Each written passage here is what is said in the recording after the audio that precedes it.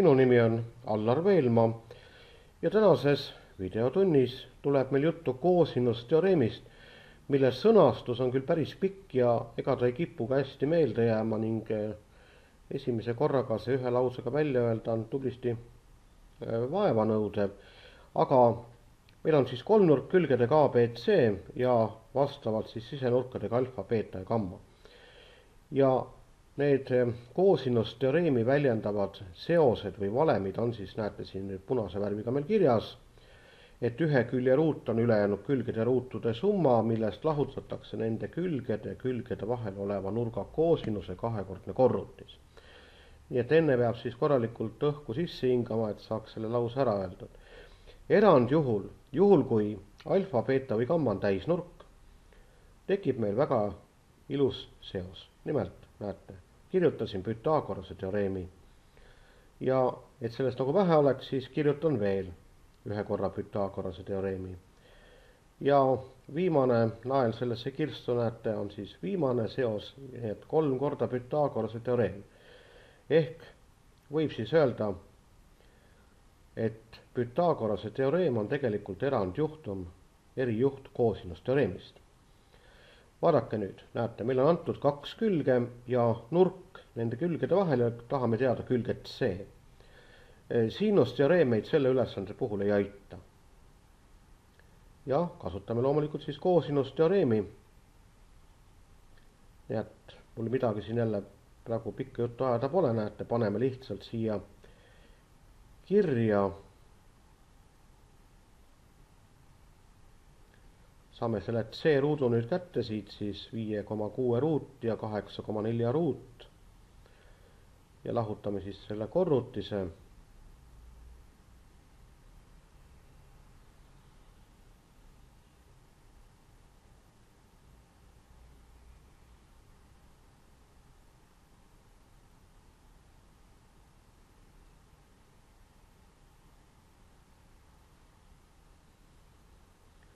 koosinus sada kakskümmend kraadi võinud kirjutada kohe loomulikult ka null koma viis, aga, aga las ta olla siis.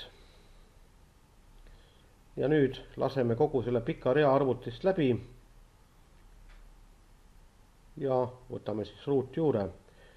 no loomulikult negatiivset väärtust me ei võta, kuna kolmnurga külg negatiivne olla ei saa, nii et võtame ühe väärtuse ainult siis ainult positiivse väärtuse ja seal tuleb siis meil kaksteist koma kaksteist koma kaks siis ligikaudu. ja ongi see leitud. nüüd eh, natukene keerulisem lugu on sellega, et kui meil on antud kolmnurga kolm külge ja me tahame ühte nurka leida. hetkel me tahame leida siis kõige lühema külje vastas olevat sisenurka.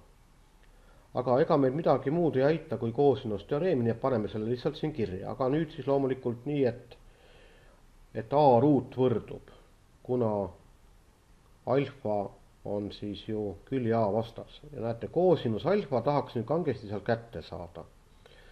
meil on nagu kaks võimalust, et kas me teeme tähtedega lõpuni või teeme arvudega, nii et me valisime praegu sellise võib-olla äh, lapsesõbralikuma variandi, et me paneme kohe siia seosesse siis arvud sisse.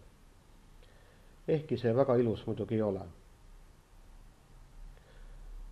nüüd nelikümmend üheksa, kuuskümmend neli tuleb meil üle tuua.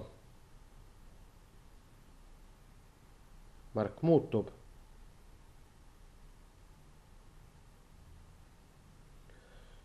ja kaks korda seitse korda kaheksa tuleb ka päris suur arv juba. nüüd vasakul pool ikkagi me peame lõpuks ära arvutama ja siis me jagame selle võrdluse mõlemad pooled miinus saja kaheteistkümnega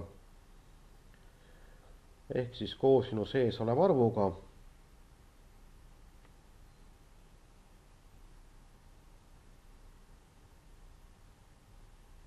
ja saame, et koosinus alfa on seitsekümmend seitse saja kaheteistkümnendikku, millest järeldub siis, et koosinus alfa, me ei hakka siin, tõsi küll, seda kümnendmurruks tegema, nii et me saame selle alfa siis ligikaudu kätte, nelikümmend kuus koma kuus kraadi et seda te võite ka näiteks programmiga GeoGebra vabalt kontrollida. nüüd äh, vaatame sellist juhtumit, kus me tahame leida nurga, mis on kõige pikema külje vastas. nüüd joonis on mul loomulikult illustratiivne ja joonisele on märgitud sinna nürinurk, aga ega me ju ei tea, kas see päriselt ka nürinurk tuleb. ehkki võiks ju teada, kui me arvutada natuke oskame, aga jätame selle kõrvale, kasutame koosinusteoreemi. nii et kõik arvutused käivad täpselt nii nagu eelmises näites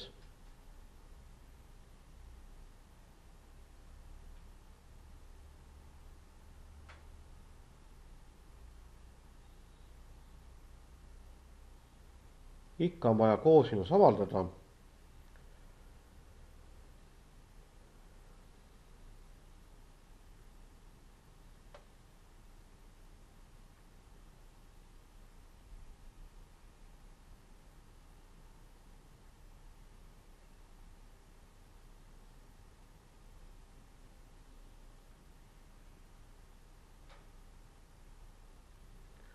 Ja saame negatiivse väärtuse.